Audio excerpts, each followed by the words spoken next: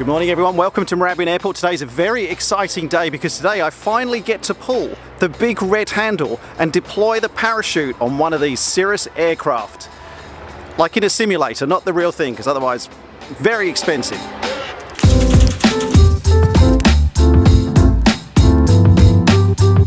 Now, of course, as pilots, we're trained for emergency scenarios and we're tested on them fairly regularly as well.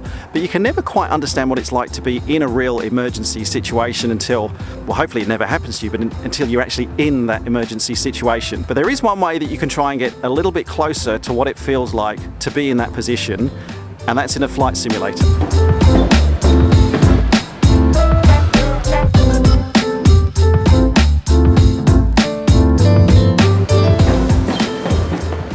So this is the full motion sim that they have down here at Avia. It's on six little motors down below which give you all, the different planes of motion, so the roll, the acceleration and deceleration, any turbulence as well. It can, it can simulate all of that as well. We're going to jump in here today and we're going to do some simulated emergencies and in particular the one that I'm really looking forward to is when you get a Cirrus aircraft to the point of no return and the only option you have as a pilot is to pull that chute. And we're going to do that today.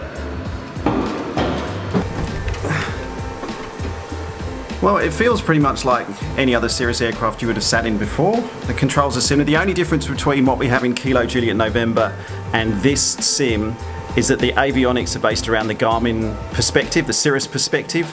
Uh, if you've flown a G1000, you'll probably recognise that as opposed to the Avidyne, which we have inside Kilo Juliet November. So that's a slight difference, but apart from that, it's all very familiar. Okay, heart brake off, so full power, airspeed's 55 60 70 knots rotate.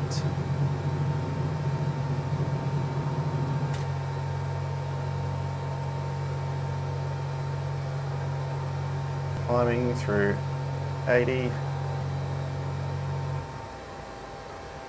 and we've lost engine. There's nothing so it's 500 feet above ground, so we're not going to pull the cap, so I'm looking for a place to land straight ahead. Trim back for best glide speed. Uh, there's a nice field straight ahead, so I'm just going to land in that, using flaps of course. So within the flap range, use that to slow us down. There's a big tree ahead, so we'll just steer to the left of that. 50 knots. So I'm just holding it off, holding it off brake before we get to the tree. Beautifully done. Geez, that happens fast. It does. It does. So this is why we consider takeoff safety brief because things do happen fast. And the whole purpose of the takeoff safety brief is for you to have your intentions front of mind in the event that something like that happens. Yeah. Perfect. All right. So wow, back to the start we go. But there's still there's sorry there's still a hesitation there the moment the engine goes, there's still it takes your brain a couple of seconds to yes. think. Yes. Am I doing the right thing? But I'm. I was just going straight to the altimeter. Yes. And looking at that. All right. So when you are ready. All right. Gonna roll again. Yes, please. So off the brakes, full power.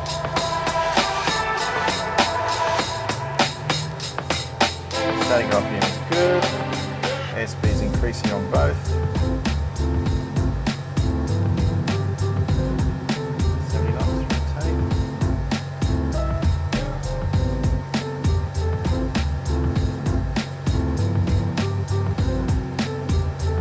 Do our 500 call, so 500 feet, flaps are up, fuel pump stays on, caps is now available.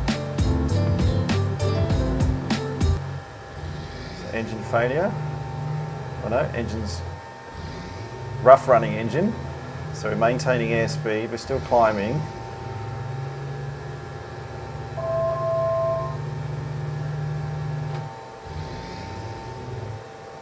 Rough right now, engine's completely gone, not maintaining airspeed, not climbing. So this is a caps pull because we're between 500 and 2000, so I'm pulling the caps.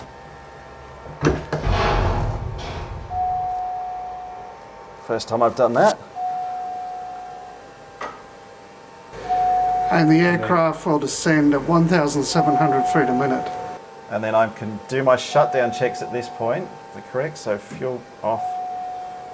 I can turn my fuel off. Yep. Yep. Okay, so fuel comes off, fuel pump off.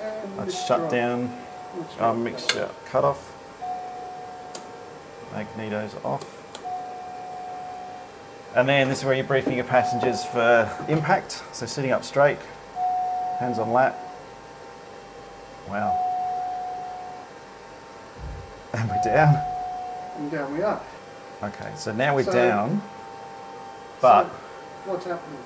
We're moving backwards. So we're being dragged backwards because of the parachute. Correct. So the parachute is now caught in the wind. It's like one big kite, and it's literally pulling the aircraft.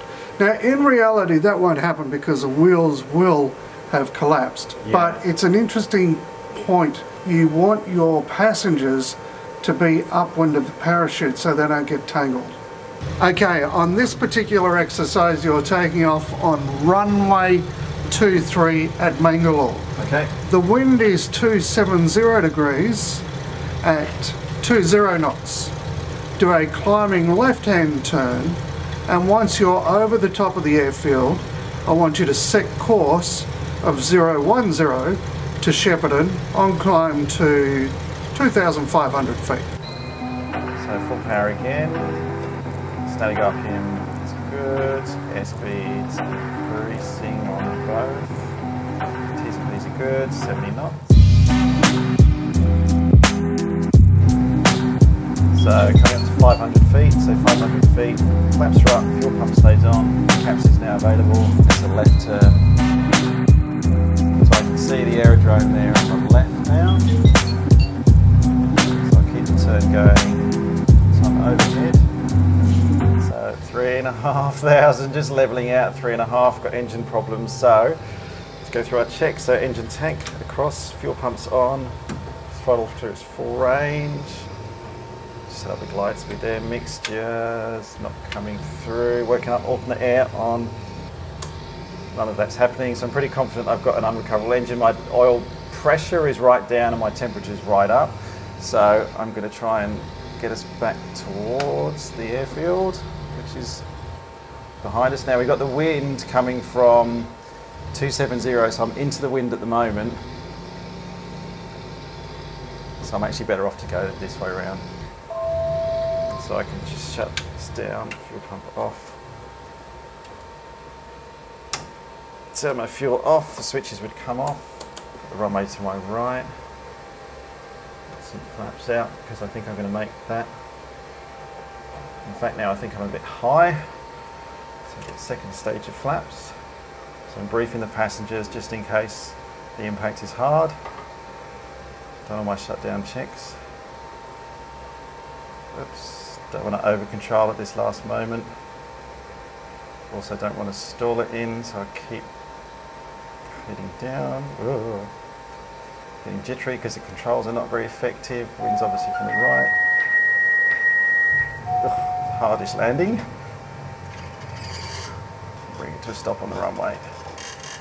And we're down. Perfect. Shut down. Cool. Excellent.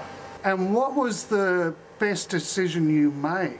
I think when I was just when I had the airport almost behind me, it was the direction of the turn that I made. Correct, correct.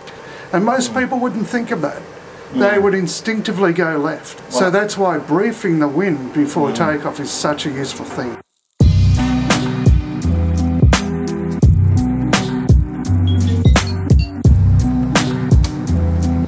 Have no autopilot. AHRS is gone now. Oh, everything's going. Primary flight instruments have gone now, so I need to go to my secondary instruments. Ah, so that's brought it back again by resetting the circuit breaker. Got a stall warning, which means we've lost our airspeed indicator. So my pitot heat, man, that's very, very disorienting. You don't know what to trust.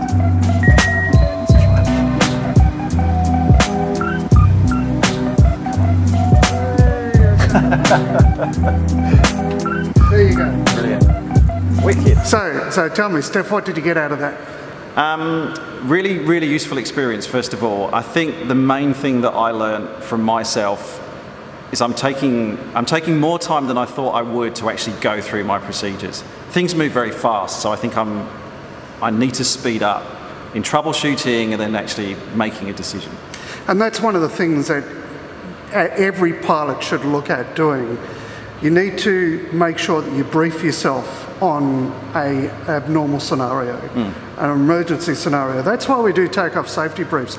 And so many people have gone through their training and never thought that in a single engine you'd ever do a takeoff safety brief mm. because things will happen quicker than what you anticipated. And when you've got the stress of, oh my goodness, you know, the adrenaline suddenly going racing through you, mm. you must have that decision already made for you. Yeah. So we've been fortunate today because we've got this wonderful simulator that's actually that we can actually train in. Mm. But there's still nothing wrong with doing desktop training. Desktop training is a wonderful thing because it allows you to put yourself in the comfort of your own home to sit there and come up with scenarios and work through different scenarios and ask yourself, how would I manage that successfully? Grab your instructor, hop into a simulator anywhere and practice that.